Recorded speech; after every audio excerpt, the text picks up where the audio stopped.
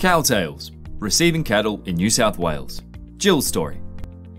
Jill has just moved to a small property near Jerilderie in New South Wales.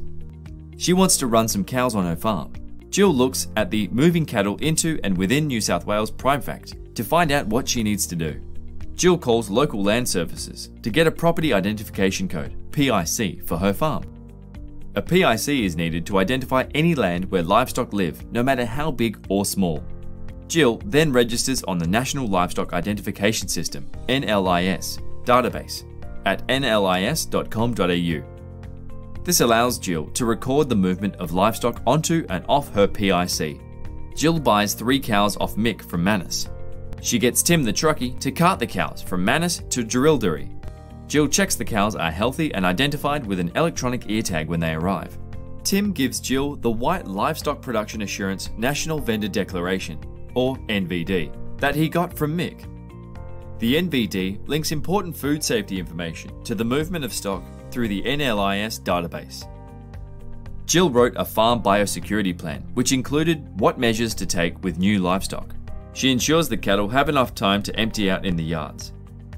She gives them a quarantine vaccination and drench.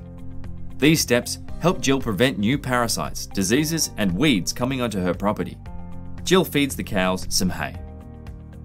Jill has two days to do the NLIS database transfer of the three cows from Mick's PIC to hers.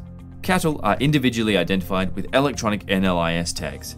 These tags have a 16 digit visual code printed on the outside of the tag, known as the NLIS ID, and a 15 digit number known as the Radio Frequency Identification Device, RFID, or electronic number that can be read by an RFID scanner. Both IDs are linked on the NLIS database, so either can be used to complete a transfer. Jill doesn't have a scanner, so she records the NLIS IDs. She logs onto the NLIS database using her ID and password.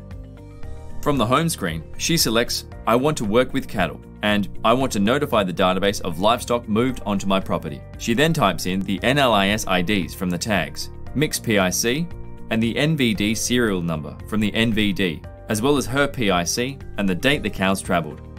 She clicks Continue, confirms the details, and then clicks Send. The two cattle with white electronic ear tags have lifetime traceability.